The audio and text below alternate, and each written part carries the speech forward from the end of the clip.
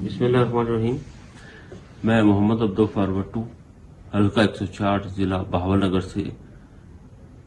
हालिया इलेक्शन में आज़ाद उम्मीदवार के हैसियत से मैंने इलेक्शन में हिस्सा लिया और अल्लाह तबारा ताला की मेहरबानी से और मेरे हल्का के आवाम की, उनकी सपोर्ट से अल्लाह ने मुझे कामयाबी दी। और मेरे मुकाबले में पीटीआई का टिकट होल्डर था। और उस इलेक्शन के बाद मैंने पीटीआई में ज्वाइनिंग की। खान साहब के साथ मैं शामिल हुआ। न्यू जो नया पाकिस्तान करप्शन मुकाव प्रोग्राम तो उसके साथ शामिल हुआ। लेकिन मुझे मायूसी इस बात पे हुई कि मैं कुछ अपने हल्के के मसाइल करप्शन के हवाले से अपने जो अदारों में करप्शन थी, उनके पास मैं रिटर्न सबूत के तौर पर लेकर गया कि जो खान साहब, ये जो कुछ आप इंक्वायरी करवाएँ और ये चीज़ें आप खुद चेक करें।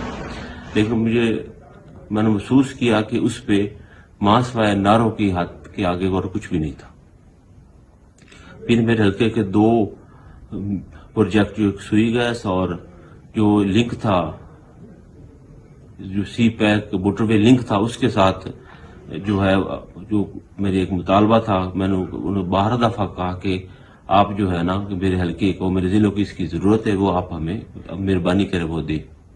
उस भी सुनवाई नहीं हुई।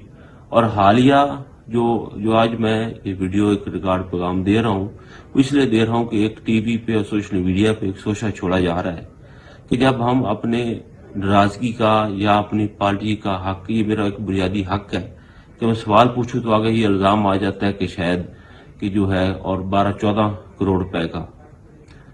मेरा ये मान है कि रिश्वत लेने दे, लेने वाला और रिश्वत देने वाला दोनों जहनमी है।